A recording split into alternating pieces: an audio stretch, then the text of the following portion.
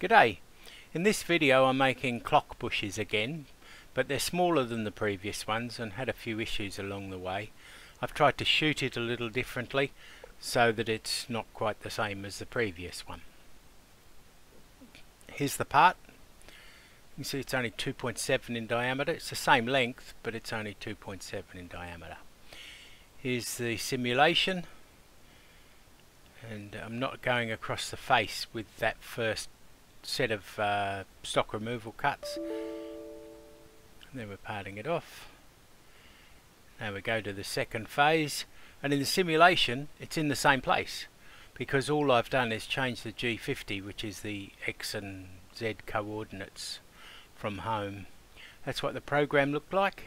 You can see I've highlighted there the uh, X tool offset for the turning tool because I had a few issues with the size changing started the program and I was getting 2.7 diameter. And after a few more parts I ended up getting 2.65 which was a bit disappointing. So I changed the X offsets and then the parts went too large.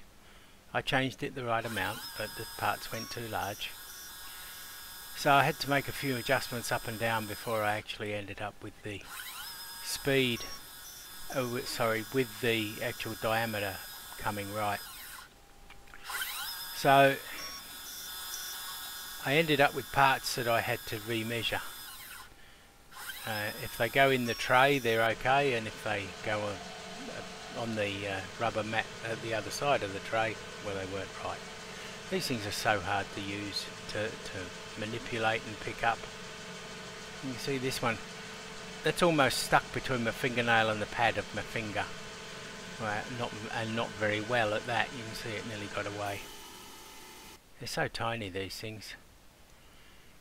That looks easy to hold as in that photo, but getting it to that point is so difficult to manipulate. That's a good way to do it as long as they don't roll off the table. Which is not easy in our house. Nothing's very square and flat at our house.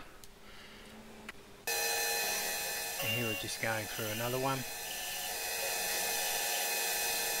And with this one, it actually drops off. I've slowed it right down to 1 8 speed there. And I think you can actually see the thing drop there. It fell off.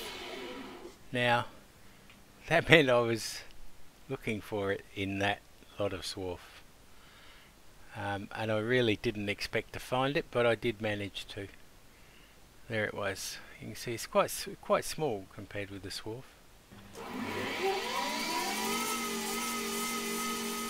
So I set up again close to the part. Now in the previous bush I actually with that stock removal cycle actually trimmed the face off as well. So I stopped doing it with this one and just did it with the actual uh, finish pass. This insert has a 20 degree face on the uh, cutting edge and it gives you a very strong nib but it allows you to get down to almost no nib at the part. That's the turned end. Finish is quite good. Just looks terrible under a microscope. There's the turned profile. This is the setup I used to make this video.